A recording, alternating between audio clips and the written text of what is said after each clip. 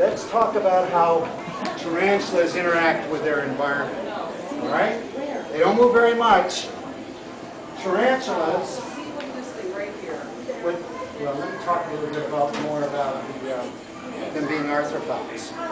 We all have a skeleton underneath us, us. All arthropods have an exoskeleton, all right? That is, when they get too big, their, their skeleton's on the outside, they got to molt. All right, and I have here, these are not spiders, tarantula, these are their shed exoskeletons. And you can see right here is um, a Mexican uh, red knee uh, tarantula, just like Annie is, this skeleton, this exoskeleton right here. We go over the top of our skeletons, sometimes too much. But these guys have to molt when they get too big. All right? And she's actually quite beautiful. I think I don't. I think she molted about a year ago. Um, a little bit about tarantula anatomy.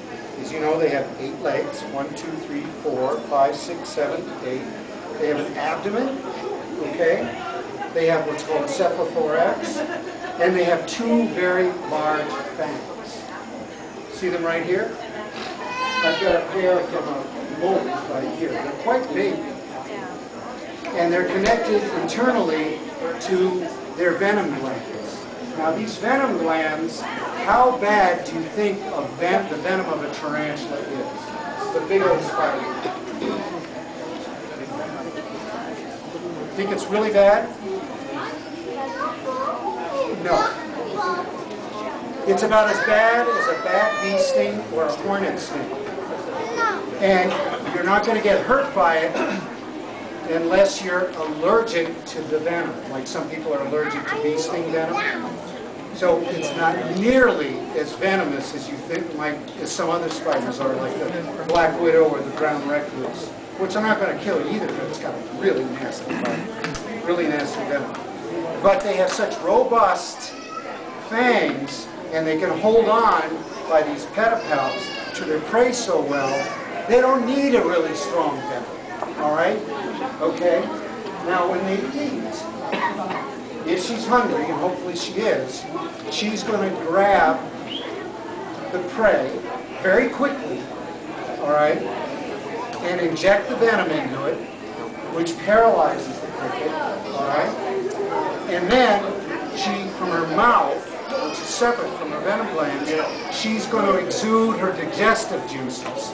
They don't have mouth parts like crickets and grasshoppers do, so they can't chew. So they exude their digestive juices and dissolve the prey on the outside. All right? And then once it's turned into sort of a mushy slurry, they suck it back in. Sounds pretty gross, but all spiders eat that because they don't have moving mouth parts. All right. Now, let's talk about the senses of a tarantula. She's got eight eyes. She's got this little model here, you can see the eight eyes. Do you think she sees very well with eight eyes?